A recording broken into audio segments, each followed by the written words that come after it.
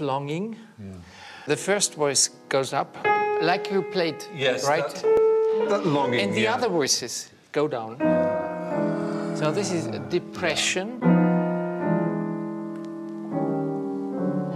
And this at the same time. Yes. This is where Wagner's genius as a composer merges with his brilliance as a dramatist. Yes.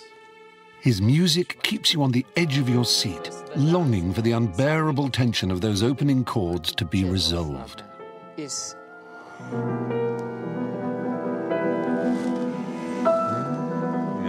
It almost happens in Act Two, when the lovers meet in secret to consummate their passion.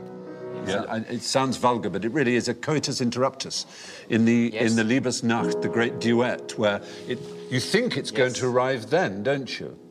And then in comes very erotic. in music. comes yeah, Rette dich Tristan happens, it's, Yeah. uh, and, and it's it's a it's as if people have just are literally in bed with each other and they are actually making love, and just as the climax is about to arrive, bang, someone comes in and And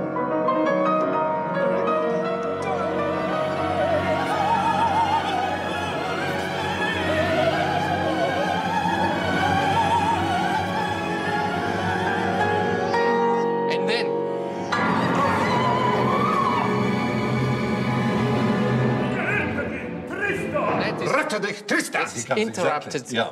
It's fantastic. Interrupted. It's such a moment.